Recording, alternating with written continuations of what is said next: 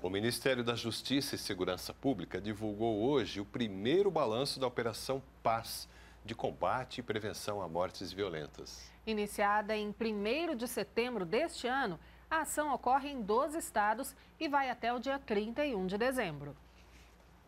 A Operação Paz, inédita no país, coordenada pelo Ministério da Justiça, teve início no mês de setembro e envolve ações em localidades onde são registrados altos índices de criminalidade. O foco é identificar criminosos envolvidos no tráfico de drogas e em mortes violentas, principalmente homicídios.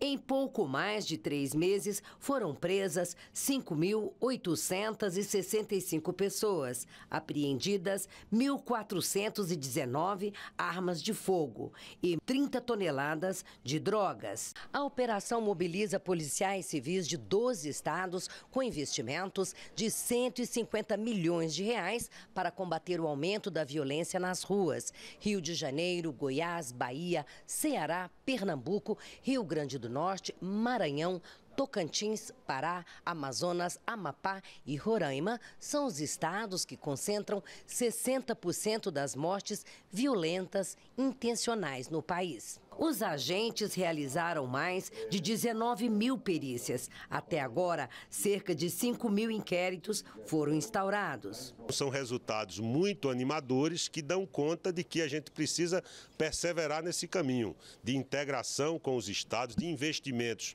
voltados é, a exatamente reduzir essa criminalidade violenta que há no país. Nós vamos ter, ao final do ano, números significativos de redução de todos esses indicadores. Os números apresentados são de setembro a 20 de dezembro deste ano. Houve redução de 2,1% no número de vítimas de homicídios dolosos, em comparação ao mesmo período do ano passado. A maior queda foi no Rio Grande do Norte, Tocantins e Roraima. Nas mortes por intervenção policial, também houve redução no Rio de Janeiro de 58%, no Rio Grande do Norte, 50%. 53% e no Amazonas, 52%. Houve queda também de 2,9% nos crimes violentos intencionais nas regiões onde a operação foi feita. O estado do Rio Grande do Norte teve é, destaques expressivos em todos os indicadores, mas outros estados também.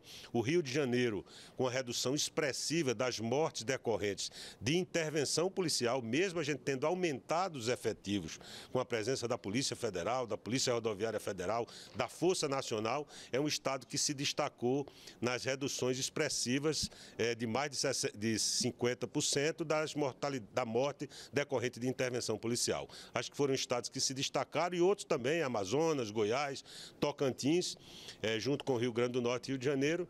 Mas, de modo geral, nós tivemos reduções expressivas em praticamente todos os 12 estados que participam dessa operação.